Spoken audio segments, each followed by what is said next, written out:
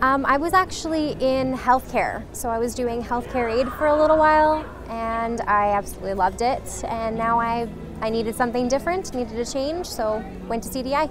My instructor has helped me quite a lot. Um, she helped me to become more excited and independent and learning so many things about um, the legal program. I actually learned that I wanted to be in criminal or family law.